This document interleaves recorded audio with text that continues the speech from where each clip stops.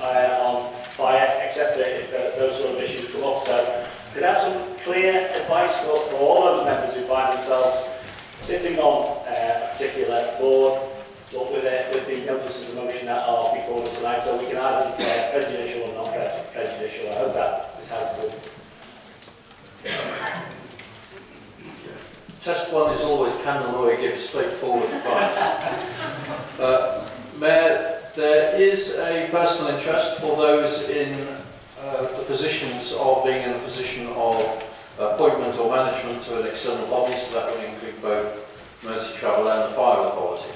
To become prejudicial, uh, that would need for the outcome of the debate this evening to have a direct effect on the financial position of those bodies. Now, because both of those motions are about the belief of this council, uh, that's my opinion that that would not have a direct effect on the financial position of those authorities, so the members may stay in the room, take full part in debate and vote. Okay, uh, in that case, then I would declare a non-prejudicial interest on the issues of around Merseytravel. Thank you. Councillor Rennie. Thank you, Madam Mayor. Um, similar, I believe, um, in this case, I will be declaring a non-prejudicial interest on the fire authority and I will be staying in the room and I will be taking part. Councillor Williams. Yeah, I think that non prejudicial interest as far as Merseytravel. Thank you. Councillor Dalton. Uh, yeah, item 9A by way of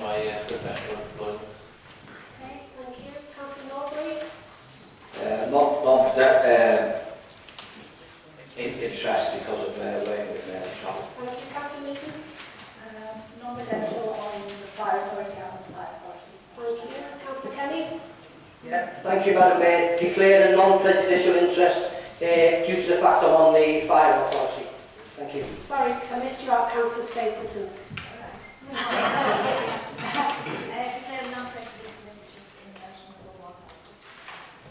Thank you. Councillor Rowlands. Thank you, Madam Mayor. I declare a non-presidential interest in this.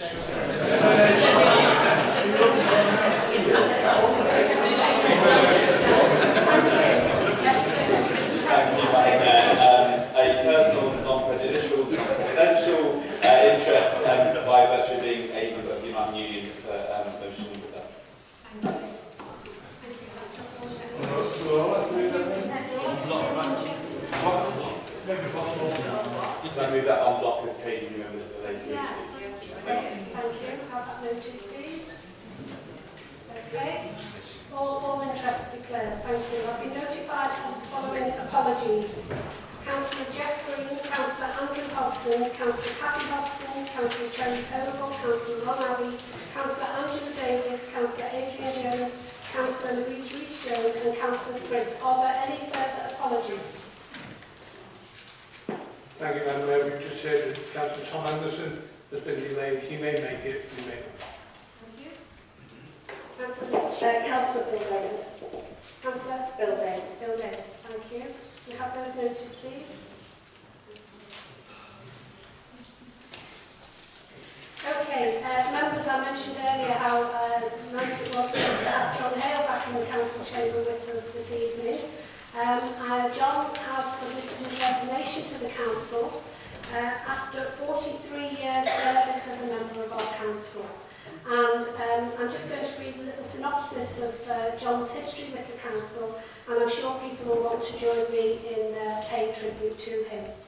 So John was first elected to the council, council as a councillor for this card when he was aged 35 in 1975. And he was re-elected three more times in the ward, finishing in 1991 when he stood as a Conservative candidate in Hoylake Ward, now Hoylake and Mells Ward which includes Central West Kirby, where he has served as a councillor for nearly 27 years. In 1976, Councillor Hale was made Deputy Chairman for Education. In 1977, John became Chairman of the Housing Committee until 1980.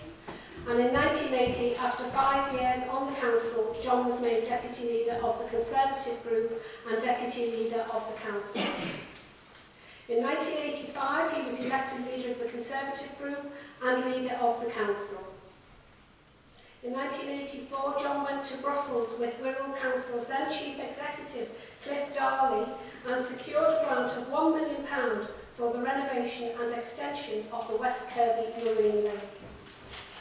He has served on numerous council committees, including Audit and Risk Management Committee, Council Excellence, Standards and Constitutional Oversight Committee, and served in the Cabinet in the early days of the new committee system and I'm sure you will agree with me that's an exemplary service of record to our council. So, um, I'm going to, and I understand that the people also want to pay tribute to, to John, so I'm going to invite uh, Councillor Lewis, leader of the Conservative Group, to say a few words. Thank you, uh, Madam Mayor. Uh, I never thought I'd see the day when I'd be paying tribute to Councillor Hale for stepping down from this authority after, as you said, a record 43 years a lifetime indeed of public service to this borough. Uh, whatever our own individual politics, Madam Mayor, I think we would all share the admiration for anybody who can put up with being a councillor for 43 years. and certainly the contribution that he's made, uh, some of which you've touched on yourself uh, tonight, Madam Mayor. Uh, I would, on behalf of the Conservative group, uh, send our best wishes to John and to Tricia. I think too often as, uh, the public sees the pressures sometimes that councillors are under. They don't always see the pressures that councillors, partners and spouses are under and the sacrifices they make as their loved one pursues their political uh, career within the local authority. So on behalf of Tricia and John, we send you our best wishes for a long and fruitful retirement from Worldborough Council. I'm sure you won't miss the laptop that was unused. But certainly, Madam Mayor, uh, John has said he will continue to be involved with our local party. I think it was at the last meeting that Councillor Foulkes uh, paid tribute to one of his party members, long-standing party members who sadly passed away. Uh, we also recognise the contribution that John has made throughout his life to the Conservative Party, firstly in Liscard and more recently in Hoylake and Meols. Thank you, Madam Mayor. Thank you. Councillor Davis. Yeah, um, I uh, am happy to uh, associate myself and my group with um, the uh, leader of the Conservative Group's comments uh, about uh, John Hale. Um, I've, um, I've had the, the pleasure really of being in John's company at uh, many conferences that we, we used to go to, Economic Development I remember and LGA conferences. Uh, I remember John's priority whenever we went to a conference um, was before we first made the first session, which we rarely made, to, to complete the, the Telegraph crossword. That, that was something that John always, uh, always managed to do. And um, I think uh, seeing, seeing John in those, in those situations, um, you know, sometimes the, uh, uh, the rough and tumble of politics can, can lead to quite uh, difficult relationships, but John was always able to separate um, kind of personal relationships from the political um, uh, differences that we share. And, and, and I always appreciated that. He was a consummate gentleman, um, always, always behaved um, extremely civilly. And, and I know, um, putting aside political differences, John has, has, has given literally 43 years service to, to this authority, which I think is, is, is going to take some, some beating. And I would like to join Ian and put on record thanks to my group to, for John's service and to wish both him and Tricia and his family um, a very long and very happy retirement. So thank you very much, John. Thank you. Okay, Councillor Gilchrist. Thank you, Madam Mayor. I'm beginning to get worried because I can remember John through most of that career and what I want to pay tribute to is that length of public service. But I'm also remembering the grasp of detail that John always had, the acumen, as I describe it, that he brought to any subject, the rigour of his analysis and ability to marshal facts and to use them. Not always agree with the conclusions from the marshalling of the facts, but John has this great ability to look at an issue and to separate all the issues that needed consideration. I'm also really appreciative of what's been said by the Wonder and Councillor Ian Lewis, because all members are always aware, night by night, of the way in which serving the public can affect our family and private lives. And remember to have such a distinguished record of service and to remain constant at that, and also to go through periods of ill health, both as a young man and in recent years, to survive all that and contribute to the community is a great achievement. Thank you. Thank you, Councillor Gilchrist. Thank you all for those tributes. I'm going to invite John to, uh, to say a few words if you'd like to.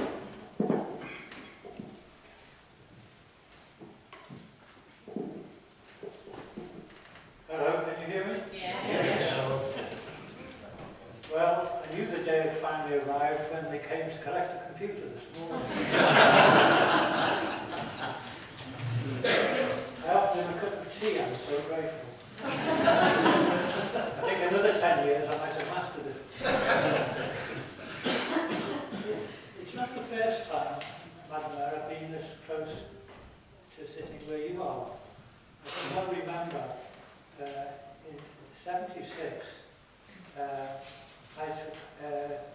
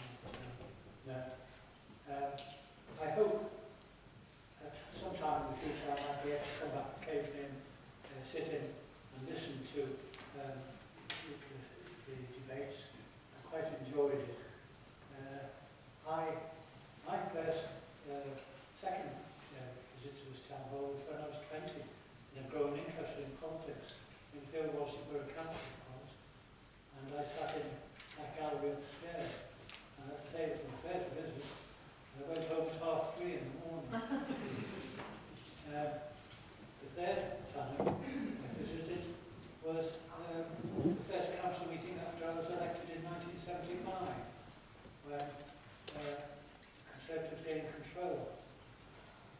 It was a strange meeting. In the end, there was a mar marvellous row going on between uh, Malcolm Thornton, Sir Malcolm as he was now, and Paul Wells, nobody And names were called, uh, and uh, Paul Wells took objection to being called a Marxist, or so he claimed he had been until um, Evans, the leader of the members, who sat up high and stood up and reassured Bilwell that uh, uh, Malcolm had been referred to Cramshaw rather than Carr. we, have, we have moments like that. Because I tell you, things were very hot until that uh, sentence. They suddenly died away. And that night I got home at 4 o'clock after my first council.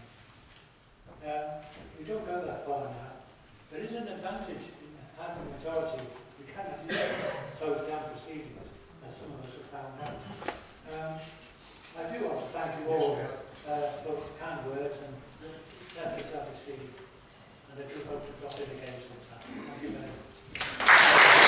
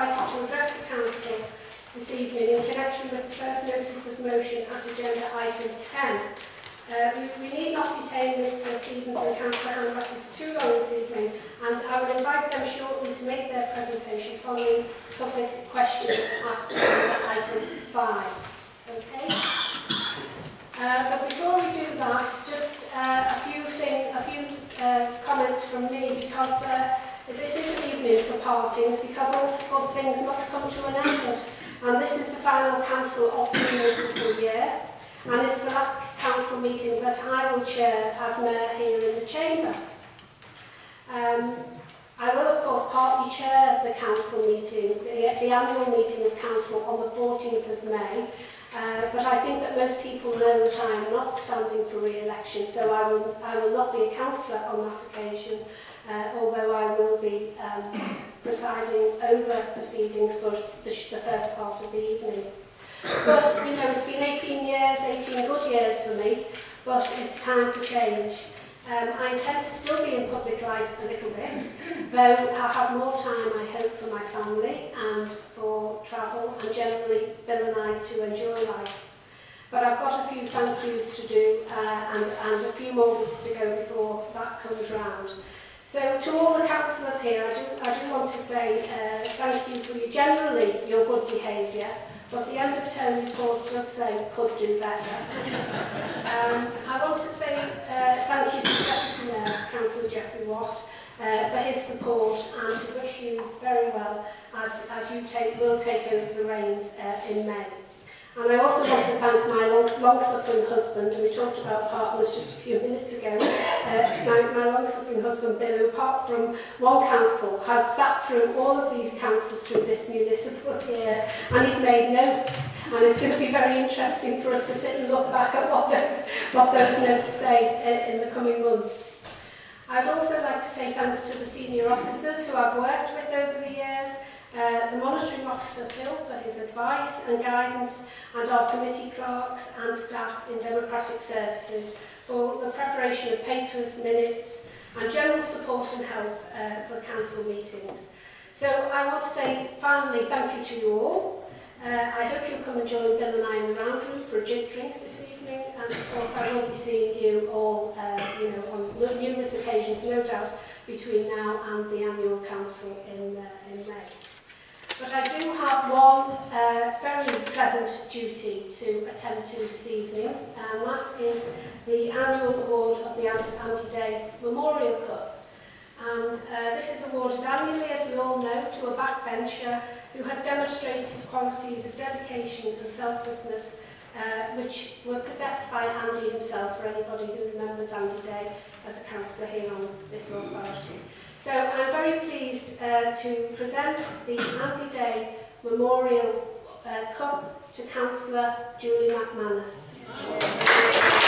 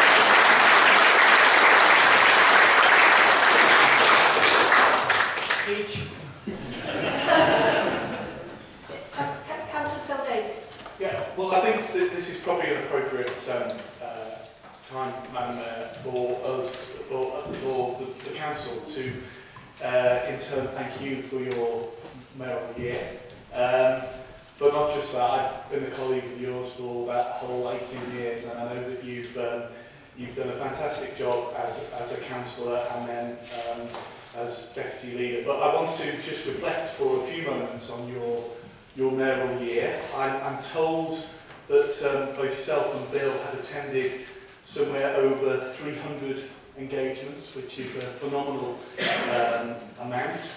Um, some notable events including the um, general election declaration, the, the Hillsborough Freedom of the Borough ceremony, which we all obviously uh, remember um, uh, from last year, the official unveiling of the plaque for PC Phillips, um, hosting a, a visit of the Chelsea pensioners, and the unveiling of the plaque for Jack Potter, and last but by no means least, two royal visits. So I think um, uh, I'd just like to put on record um, certainly my appreciation for the fantastic year of service that both you and Bill have, have given to the borough. I also want to uh, thank you for the fantastic work that both you and your charity commission, uh, committee have done for your, your charity this year, which I know you will talk about uh, in more detail, but the, the, the uh, three charities, Incubabies, the Merseyside Autistic Children's Society, and I know that, um, that your special charity fund is also going to make a contribution to the World Food Bank uh, at the end of your mayoral year. I think all those are fantastic charities and I, I look forward, I'm sure you've raised a huge amount of money which I know will be um, very well very well used and spent. So in closing, I think you have upheld the best traditions of being the mayor of this borough. You know, it is, you are the first citizen and I think uh, you have certainly done a wonderful job, made us all proud of the, the office of mayor. And I think it just remains for me to say a big thank you once again to you and Bill, and may we wish you a long and very happy retirement. Thank you very much.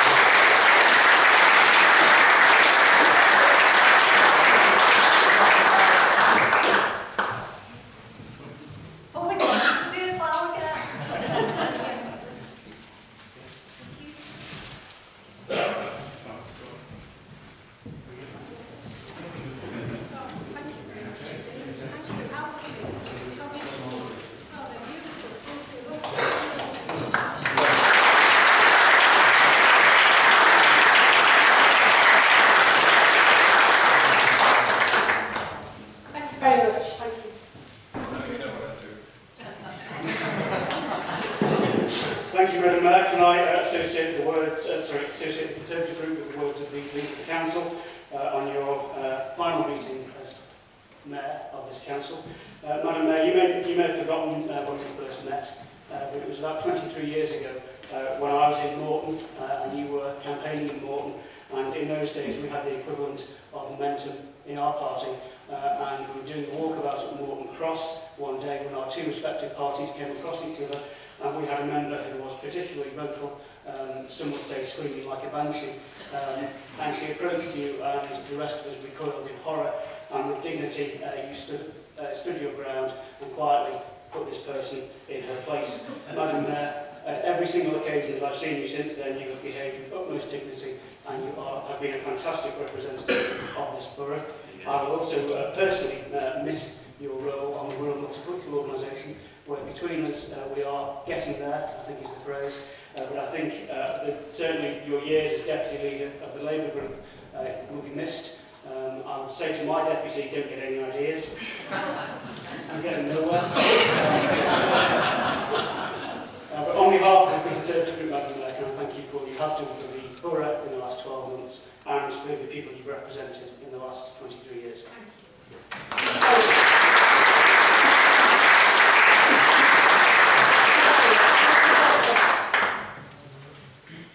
Thank you, Madam Mayor.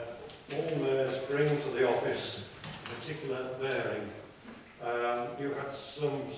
occasions to attend um, regarding the PC Phillips passing away, but also you had the occasion of great justice being achieved in the memorial for the Hillsborough victims.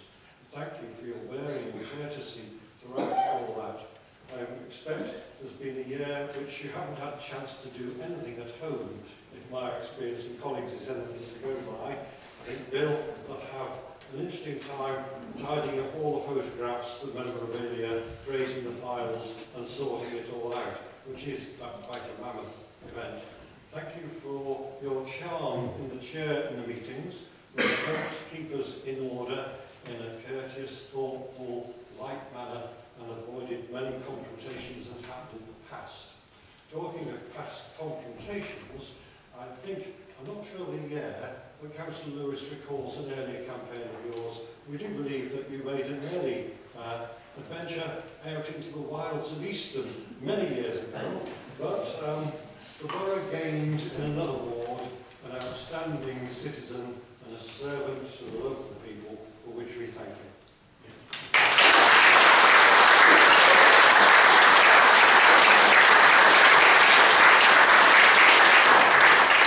Can I thank you all for those very, very kind and moving comments. I'm very touched by them all. Thank you very much indeed. And I, I genuinely do wish the Council good luck going forward. Thank you. Okay. So I'm going to move on to item three now, minutes of the Budget Council meeting held on the 5th of March, which are contained within pages 1 to 28 of the Council agenda papers. I will move approval of this set of minutes as a correct record. Do I have a seconder? Seconded. Thank you. Are there any issues of accuracy in respect of any of these minutes? Okay, everyone in favour of read the minutes? Thank you.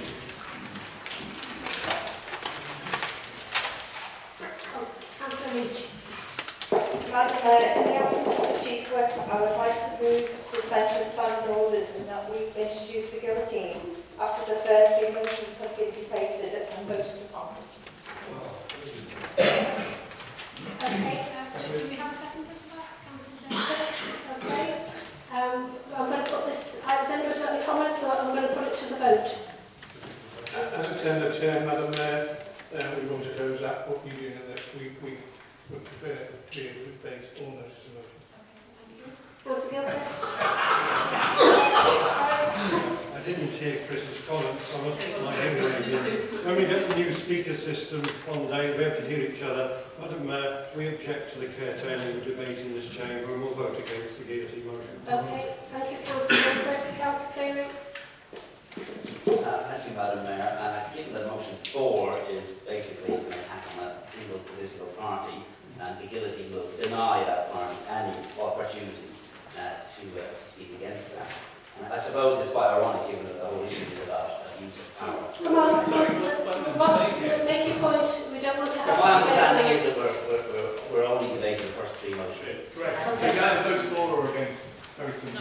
Very simple. Sorry, hold on then. Then there is no debate. Oh, thank you. Yeah. Major point. Thank you, Councillor Cleary. Okay, I'm putting this matter to the vote.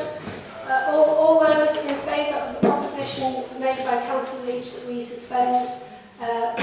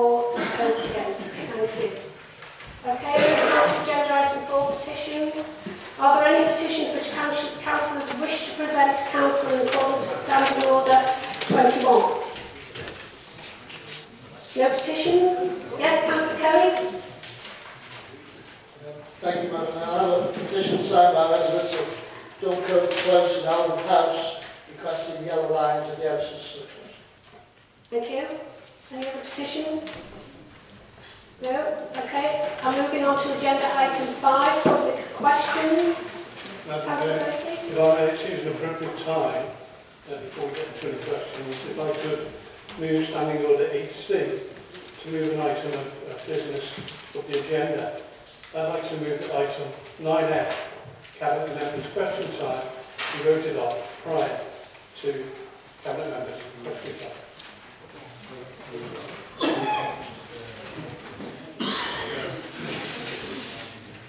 We got a second for that? Yeah, okay, so Councillor Blakeley is moving Standing Order 8C, which is asking for an item to be brought forward before the item is heard on the agenda. So he's asking for item 9F, which is the time allowed for executive members' reports to be brought forward. Because at present it's 30 minutes and the new amendment is for 45 minutes. So I'm going to put that to the vote in council now. All those in favour? With one abstention. That's clearly carried. Thank you.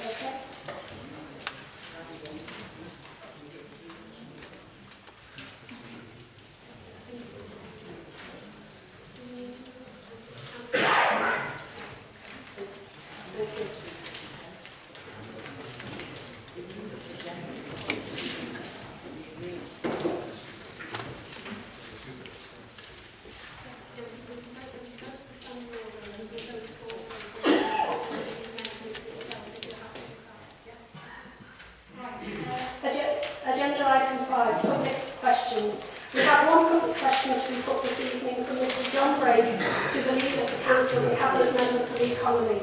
Mr Brace, come forward and, and you can put your, council, your, your question sorry, to Councillor Davies. Uh, Councillor Phil Davis has explained at a number of public meetings what he thinks the benefits of the Hoylake Golf Resort project are Could you further please explain how the financial risks, including the financial risk of Wirral Council lending the developer millions of pounds if planning permission is granted, will be managed and mitigated, please? Councillor Davies. Thank you, uh, Madam Mayor. And, um, response to Mr Brace is, is as follows. We're, we're working with our partners to help create a flagship world-class tourist and leisure development. Um, this will not just be about golf, but also drive retail, leisure and residential developments. It's therefore hugely complex and subject to extensive and robust business planning. Those business plans are being developed alongside the work to complete environmental uh, and traffic studies, and we will be scrutinising and reviewing this work over the coming months. Residents will have many opportunities to have their say and review our plans during that time, particularly during the planning process. Uh, the mitigations against the risk to the council are as follows. Firstly, capital will be, will be released against a work programme with works monitored against key milestones. Um, secondly, if planning permission is granted, the value of the land will increase. Extensive due diligence will be carried out before any loan is agreed, and the loan will generate income from interest that can be earmarked against the project. Um, the, and finally, the council is not funding the project as other funding will be provided by the other partners involved. Thank you, Madam Mayor. Have you? Yes, you may put a supplementary question. Uh, I, I know uh, over in uh, Liverpool City Council we're also planning on lending a development money for the Everton Stadium. I just wanted to ask, in Liverpool the council make the final decision on that loan. Will the final decision on the loan come to council or will it be by cabinet?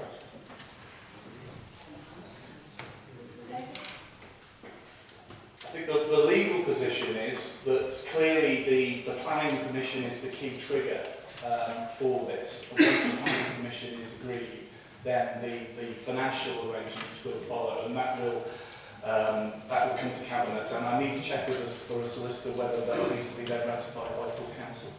Then if you could uh, confirm that, Mr. McCool. Thank you, Ed. Uh, clearly we'll be giving more detailed advice at the time, but planning consent is a, a reserve of the planning committee, so that decision will be made there. Uh, any financial decision would be made by cabinet if that decision is within the confines of the common budget, something would come to full council only if it affected uh, or was contrary to the budget recently passed. Okay, thank you, Mr. Rhodes. Thank you.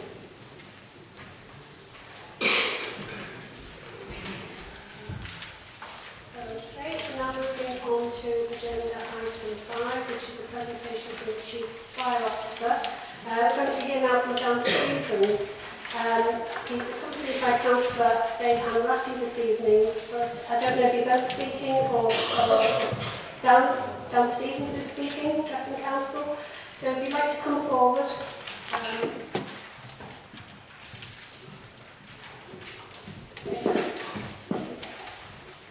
uh, Thank you, Madam Mayor. Members, Merseyside Fire and Rescue Service has had to deal with significant financial challenges since 2004. This has been compounded by a 50% real terms reduction in its revenue support grant since 2010-11. This is the most severe cut to any fire and rescue service in the country. For the next financial year, the service will have lost 355 fighter posts and 200 support service posts since 2010-11. This has resulted in the loss of just short of 50% of our immediately available fire appliances. The impact on the service, as you would expect, has been significant. Members Wirral be well aware of the changes the authorities had to make on the will, affecting Upton, West and Wallasey. These are not changes I would have recommended if it were not for the financial challenge faced by the authority. These are certainly not changes the authority would have approved if they were not recognised as being the least worst options in the circumstances. This has been acknowledged by the Fire Brigade Union, who have welcomed our commitment to maintain a whole-time service.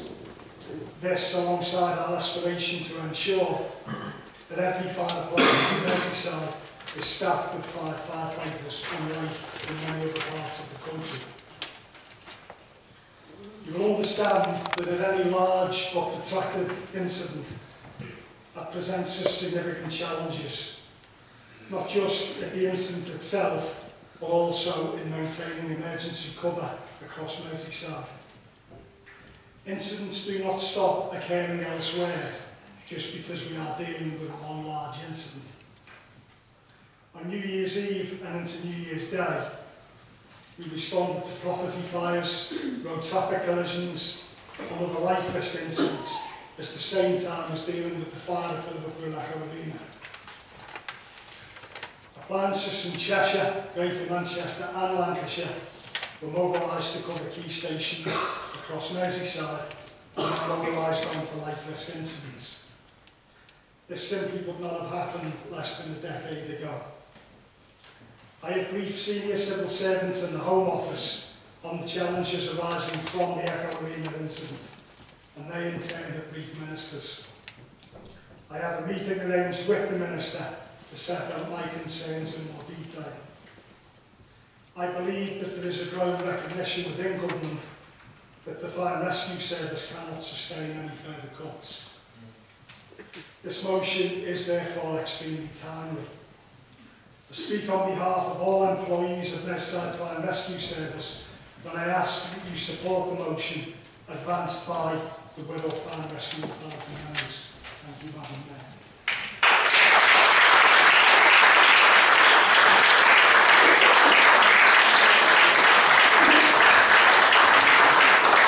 Thank you very much, uh, for that uh, presentation. You know, there is a, a notice of motion, as you've just said, on the agenda this evening, and you're very welcome to stay if you want to stay and do debate on that. Thank you. Okay, uh, I'm moving on now, colleagues, to agenda item six, leaders, executive members and chairs reports. Item six on pages 29 to 56 of the agenda contains the reports of the executive members and of the overview and scrutiny committee chairs. Cabinet members and committee chairs will not, not present their reports, which will be taken as read, and the council is invited to receive and note the reports. Now, there will be, having, having brought forward ag- agenda item 9F, there will now be an, an allocated maximum of 45 minutes for questions to the leader, cabinet members and chairs, and these questions must be confined to the contents of the reports and can be asked in any order. Questioners, please ensure that your question is no longer than two minutes. The total number of questions on any one report will not normally exceed more than five. Okay, so uh, and are there any questions which councillors wish to ask in respect of any of the reports before you? Thank you.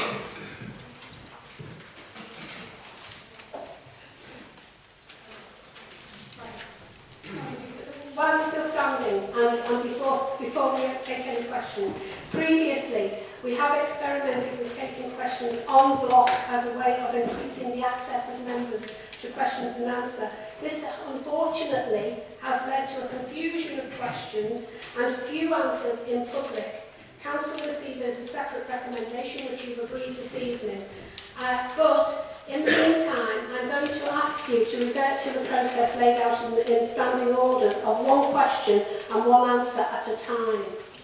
Okay, so I'd like, if you're, going, if you're going to ask questions, I want to give as many members as possible the opportunity to ask questions and I want to uh, give uh, the uh, executive and scrutiny chairs as much opportunity to answer uh, as fully on questions as possible and also from the help to uh, help us to be able to, to capture all of those questions that are asked. So the first person I'm going to ask is Councillor Steve Fowkes. You have a question. Yeah, my question is for the Cabinet Member, Stu Whittaker, uh, Transport and Infrastructure, page 45. You make reference in the report about recent adverse weather conditions. Uh, can the Cabinet Member uh, report on the responses of the weather conditions and the work of the staff? Councillor Westman. Uh, thank you, Madam Mayor. Uh, as, as was mentioned the Budget Cap, uh, Council, um, widespread uh, commendation thanks to the uh, hard work and staff who've done that stop, stops. Uh, work allows our nice to ensure rural uh, remains on the move. Uh, I can report that those comments were fed back to staff and they were briefly received and obviously, you know, we've had a, a therapy in the back of um, and we want to save our bag. So very much for. Thank you. Uh, okay, so, right, Councillor Bailey.